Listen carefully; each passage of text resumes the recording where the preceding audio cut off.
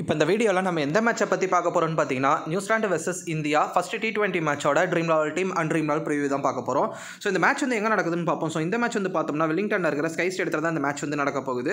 அடுத்து இந்த மேட்சோட பிச் ரிப்போர்ட் பற்றி பார்ப்போம். இப்போ இந்த மேட்சோட பிச் ரிப்போர்ட் பற்றி பார்த்தோம்னா பிச்சை பொறுத்த வரைக்கும் பேட்ஸ்மேனுக்கும் ஃபாஸ்ட் பாலர்ஸ்க்கும் ஒரு நல்ல சப்போர்ட் வந்து பார்த்தீங்கன்னா கிடைக்கும். ஸோ ஃபஸ்ட் ஆஃப் ஆல் வந்து பார்த்தீங்கன்னா நான் என்ன சொல்ல வந்து கிளியராக புரிஞ்சுங்க அதாவது வந்து ஒவ்வொரு நாட்டிலையுமே வந்து பார்த்தீங்கன்னா ஒவ்வொரு கிளைமேட் இருக்கும் ஒவ்வொரு வெதர் கண்டிஷன் வந்து பார்த்தீங்கன்னா இருக்கும். ஸோ அதனால் அந்த பிச்சுமே அதுக்கேற்ற மாதிரி தான் வந்து பார்த்தீங்கன்னா ஆகும். அதில் வந்து முக்கியமாக வந்து பார்த்தீங்கன்னா மூணு நாடு. அது ஒன்று வந்து பார்த்தீங்கன்னா சவுத் ஆஃப்ரிக்கா ரெண்டாவது ஆஸ்திரேலியா மூணாவது வந்து பார்த்தீங்கன்னா கண்டிப்பாக வந்து பார்த்தீங்கன்னா நியூசிலாந்து சொல்லலாம். பட் நியூசிலாண்ட் அண்ட் இங்கிலாந்து கிட்டத்தட்ட சிமிலரான கண்டிஷன் தான். பட் ஸ்டில் இங்கிலாந்து ஒரு சில கண்டிஷன்ஸில் வந்து பார்த்தீங்கன்னா பியூர் அண்ட் பியூர் வந்து பார்த்தீங்கன்னா பேட்டிங்க்கெலாம் சப்போர்ட் பண்ணும். பட் ஸ்டில் அந்த சின்ன ஸ்லைட் டிஃப்ரென்ஸ் தான் இதை நான் ஏன் சொல்ல வரேன்னா இப்போ ஆஸ்திரேலியாவை எடுத்தோம்னா எப்படி எல்லா ட்ராக்லுமே அந்த பேஸ் அண்ட் போம்ஸ் இருக்கோ ஸோ அதேமாரி நியூசிலாண்டில் வந்து பார்த்தீங்கன்னா அந்த ஸ்விங்குன்றது கண்டிப்பாக வந்து பார்த்தீங்கன்னா இருக்கும். அதேமாரி அந்த பவுன்ஸ் இருக்கோ இல்லையோ பட் ஸ்டில் வந்து பார்த்தீங்கன்னா அந்த சீம் நல்லாவே வந்து பார்த்தீங்கன்னா ஹவுஸ் பால் வந்து அந்த ட்ராக் சீமில் படக்குள்ள.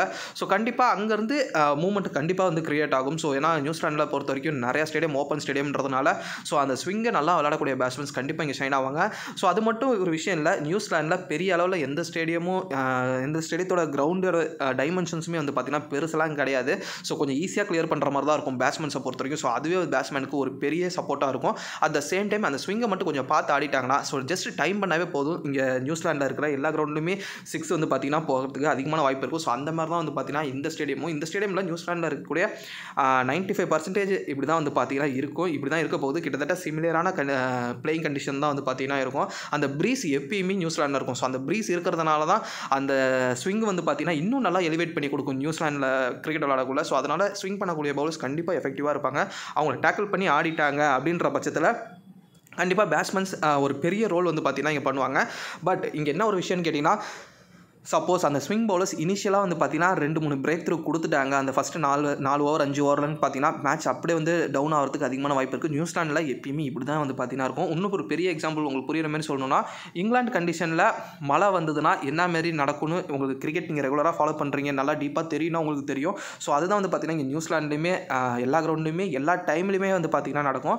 ஸோ இப்படி தான் இருக்க போகுது இந்த பிச் ரிப்போர்ட்டை பொறுத்த வரைக்கும். அண்ட் வெதர் ரிப்போர்ட்டை பற்றி பார்த்துருவோம் ஸோ வெதரை பொறுத்த வரைக்கும் மழை வந்து இருக்கும் அப்படின்ற மாதிரி தான் சொல்லியிருக்காங்க. அதுலேயும் குறிப்பாக வந்து பார்த்தீங்கன்னா மேட்ச் ஆரம்பத்தில் இருக்கும். ஸோ அதனால் டாஸ் கூட வந்து பார்த்தீங்கன்னா டிலே ஆகலாம் அப்படின்ற மாதிரி வந்து பார்த்தீங்கன்னா குறிப்பிட்டிருக்காங்க. ஸோ மற்றபடி வந்து எவ்வளோ பர்சன்டேஜ் என்ன எதுனா வந்து பார்த்தீங்கன்னா அக்யூரேட்டாக தெரில பட் ஸ்டில் மழை வந்து இருக்குது அதுவும் வந்து பார்த்தீங்கன்னா மேட்ச் ஆரம்பிக்கக்குள்ளே இனிஷியலாக வந்து பார்த்தீங்கன்னா இருக்கும். ஸோ அதனால் மேபி டாஸ் டிலே ஆகலாம் அப்படின்ற மாதிரியான ஒரு அப்டேட் தான் வந்து பார்த்தீங்கன்னா இப்போதைக்கு இருக்குது மேபி பர்சன்டேஜ் வைஸ் இன்னும் வந்து பர்ஃபெக்டாக தெரிஞ்சதுன்னா நான் கண்டிப்பாக வந்து பார்த்தீங்கன்னா டெலகிராம் அண்ட் கம்யூனிட்டி டேப்பில் அப்டேட் பண்ணுவேன். நீங்கள் வந்து பார்த்து தெரிஞ்சுக்கலாம். ஸோ இதான் வந்து பார்த்தீங்கன்னா இந்த மேட்சோட pitch and weather report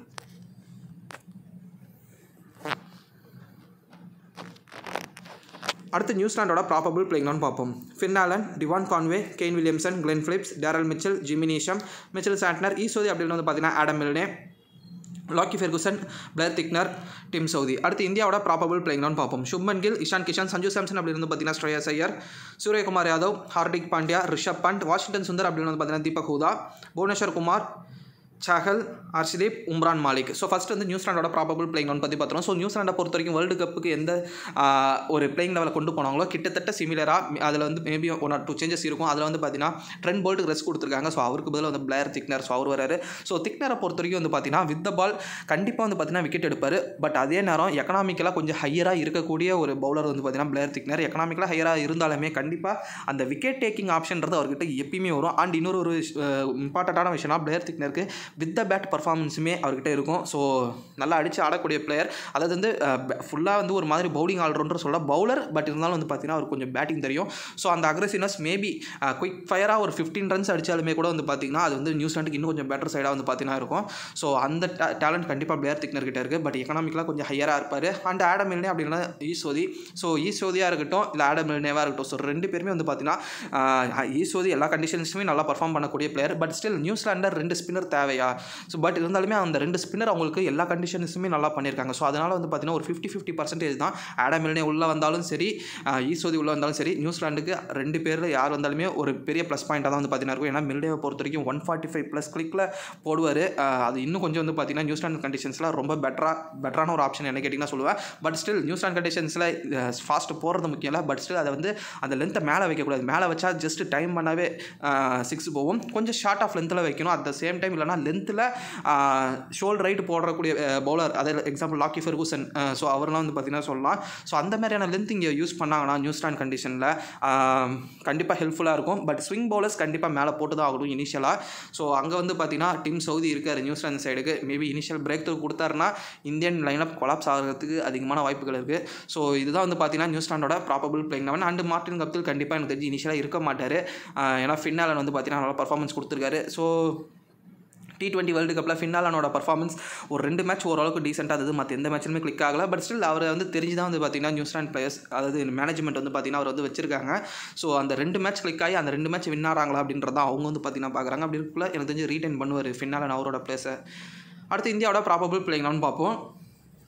so நான் சொன்னது தான் அட் த சேம் டைம் வந்து பார்த்தீங்கன்னா கண்டிப்பாக வந்து மேட்ச் கார்டில் தான் வந்து பார்த்தீங்கன்னா தெரியும். ஸோ சஞ்சு சாம்சன் ஸ்ட்ரேயஸ் ஐயர்னு பட் என்னோட ஒரு பிக் என்னன்னு கேட்டிங்கன்னா கண்டிப்பாக ஸ்ட்ரேயஸ் ஐயர் தான் என்ன கேட்டிங்கன்னா சொல்லுவேன். ஏன்னா சஞ்சு சாம்சனை பொறுத்த வரைக்கும் அஃப்கோர்ஸ் லாங்கஸ்ட் சிக்ஸ் அடிக்கக்கூடிய எபிலிட்டி இருக்குது அண்ட் கேம் கொண்டு போகக்கூடிய எபிலிட்டி இருக்குது பட் ஸ்டில் வந்து பார்த்தீங்கன்னா ஃபாஸ்ட் பவுலர்ஸை கண்டிப்பாக ஸ்ட்ரேயஸ் ஐயர் ரொம்ப சூப்பராக ஆடுவார். அட் த சேம் டைம் அதாவது சாரி சஞ்சு சாம்சனால் நல்லா சூப்பராக ஆடுவார். பட் ஸ்டில் வந்து பார்த்தீங்கன்னா ஸ்ட்ரேயஸ் ஐயர் ஃபாஸ்ட் பவுலர்ஸ்க்கு எதிர்க்க கொஞ்சம் வந்து பார்த்தீங்கன்னா வீக்னஸ் இருக்குது ஸோ அதுதான் வந்து பார்த்தீங்கன்னா இங்கே ஒரு பெரிய மைனஸ் பாயிண்ட் ஏன்னா இங்கே வந்து ஃபாஸ்ட் பவுலர்ஸோட டாமினேஷன்ஸ் அதிகமாக இருக்கிறதுக்கு வாய்ப்பு இருக்குது பட் இருந்தாலும் நான் ஏன் ஸ்ட்ரேயஸ் ஐயர் சொல்கிறேன்னா அவரோட கம்போசிஷன் ஸோ வந்து பார்த்தீங்கன்னா ரொம்பவே காமன் கம்போஸராக இருப்பார். ஸோ கேமை வந்து எப்படி கொண்டு போகிறதுன்னு பட் ஸ்டில் அந்த ஒரு விஷயம் சஞ்சு சாம்சங் கிட்ட மிஸ் ஆகும். ஸோ ஏதாவது தப்பான ஷாட்ஸ் ஆடி அவர் வந்து அவுட் ஆகிறதுக்கு அதிகமான வாய்ப்பு இருக்குது பட் ஸ்டில் மேட்ச் காலில் பார்த்தா தெரியும். ரெண்டு பேரில் யார் இருக்காங்க? ரெண்டு பேரில் யார் இருந்தாலுமே பெட்டரான பிக் தான். பட் என்னோட ஒரு பர்சனல் ஒப்பீனியன் ஒரு ஸ்ட்ரேயா சேருன்னு சொல்லுவேன். என்ன தான் வந்து அவர் பேசுக்கு எதிர்க்க ஸ்ட்ரகிள் பண்ணாரோ அது பேசுறது ஸ்ட்ரகிள் பண்ணுறாருன்றது நான் வந்து ஷார்ட் பாலுக்கு குறிப்பிட்டு சொல்லுவேன். மேபி லாக்கி ஃபெர்குசன் கிட்ட அவர் இருந்தாருன்னா மாற்றுறதுக்கு அதிகமான வாய்ப்புகள் வந்து பார்த்தீங்கன்னா இருக்கும். அண்ட் தீபக் உதார் வாஷிங்டன் சுந்தர் ஸோ ரெண்டு பேரும் கிட்டத்தட்ட சேம் கேட்டகரி தான். இவர் வந்து பேட்டிங் ஆல்ரவுண்டர் அவர் பவுலிங் ஆல்ரவுண்டர் ஸோ அதுதான் வந்து பார்த்தீங்கன்னா டிஃப்ரென்ஸ் ரெண்டு பேரில் யார் இருந்தாலுமே மேபி வந்து பார்த்தீங்கன்னா பெட்டராக தான் வந்து பார்த்தீங்கன்னா இருக்கும். ஸோ இதான் வந்து பார்த்தீங்கன்னா நியூசிலாண்ட் அண்ட் இந்தியாவோட ப்ராபபிள் பிளேயிங் லெவன் அடுத்து இந்த கிரவுண்ட் ஸ்டாட்ஸ் பற்றி பார்ப்போம். யாரஸ் ஃபர்ஸ்ட் இன்னிங் ஸ்கோர் வந்து பார்த்தீங்கன்னா ஒன் சிக்ஸ்டி அடுத்த ட்ரீம் வந்து பார்த்தீங்கன்னா நான் வந்து உங்களுக்கு ஒரு டீம் வந்து சஜஸ்ட் பண்ணுறேன் விக்கெட் கீப்பர் ஆப்ஷனில் Devon Conway Finn Allen so நான் வந்து பார்த்தீங்கன்னா இங்கே ரெண்டு கீப்பர்ஸ் சூஸ் பண்ணியிருக்கேன். ஸோ ரெண்டு பேருமே வந்து பார்த்தீங்கன்னா டிஃபால்ட்டான ஒரு ஆப்ஷன் கேட்டிங்கன்னா கண்டிப்பாக டிஃபால்ட்டான ஆப்ஷன் சொல்ல மாட்டேன். பட் ஸ்டில் டிவான் கான்வேவை பொறுத்த வரைக்கும் நான் வந்து டிஃபால்ட்டான ஆப்ஷன் சொல்லுவேன். இங்கே இன்னும் ரெண்டு கீப்பர்ஸ் இருக்காங்க. ஒன்று வந்து பார்த்தீங்கன்னா சஞ்சு சாம்சன் இன்னொரு ரிஷப் பண்ணிட்டு அதில் சஞ்சு சாம்சனை பொறுத்த வரைக்கும் இருப்பாரா இல்லையான்னு தெரில ஸோ அதனால் அவரை விட்டுறலாம்.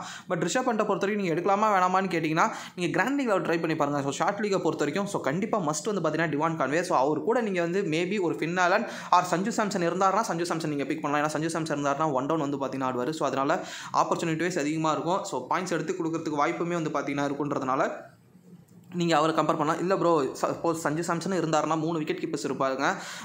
ரிஷப் பண்ணிட்ட விட்டாலும் ஸோ மூணு பேருமே நாங்கள் பிக் பண்ணலாமான்னு கேட்டிங்கன்னா என்னோட ஒரு பதில் கண்டிப்பாக பிக் பண்ணலாம். பட் நீங்கள் வந்து ஒரு பவுலர் ஆர் ஒரு ஆல்ரவுண்டரை நீங்கள் வந்து விட வேண்டியது இருக்கும். அதுக்கு நீங்கள் ஓகேனா நீங்கள் தாராளமாக மூணு விக்கெட் கீப்பர்ஸோட போகலாம்.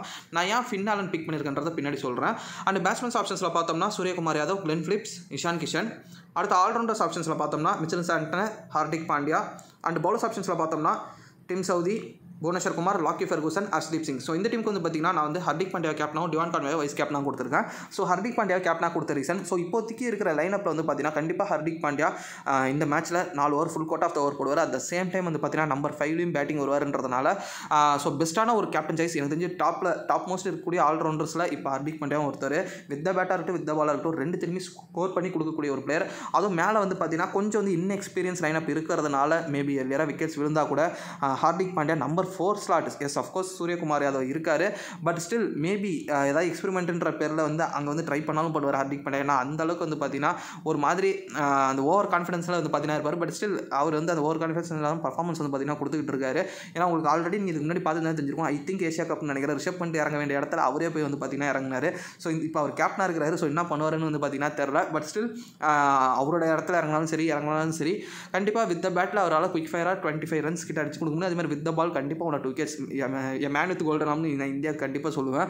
எப்போ இருந்தாலும் பிரேக் த்ரூ வந்து பார்த்தீங்கன்னா ஹர்திக் பாண்டியாவில் கொடுக்க முடியும். கொடுத்துட்டு தான் இருக்க ரீசெண்ட் டைம்ஸில் ஸோ அதனால் பெட்டரான ஒரு captain choice at the same time vice கேப்னா நான் வந்து பார்த்தீங்கன்னா டிவான் கான்வே ஸோ கன்சிஸ்டண்ட்டான ஒரு பர்ஃபார்மர் அது மட்டும் இல்லாமல் முக்கியமாக வந்து பார்த்தீங்கன்னா இனிஷியலாக வந்து எந்த பெரிய ஷாட்ஸ் தவறான ஷாட்ஸ் எல்லாம் வந்து பார்த்தீங்கன்னா ஆடாமல் ஸோ கேமை கொண்டு போகணும்னு நினைப்பார். இருபது ஓவருமே ஸோ அது வந்து ரொம்ப ரொம்ப குரூஷியலான பிளேஸ் தான் பண்ணுவாங்க. ஸோ அதில் ஒருத்தர் தான் வந்து பார்த்தீங்கன்னா டிவான் கான்வே. ஸோ அதனாலே நான் வந்து டிவான் கான்வேக்கு வைஸ் கேப்டன் சாய்ஸ் கொடுத்துருக்கேன். அண்ட் இப்போ முக்கியமான விஷயம் என்னன்னா கேன் வில்லியம்ஸனை நான் வந்து பார்த்தீங்கன்னா பிக் பண்ணல.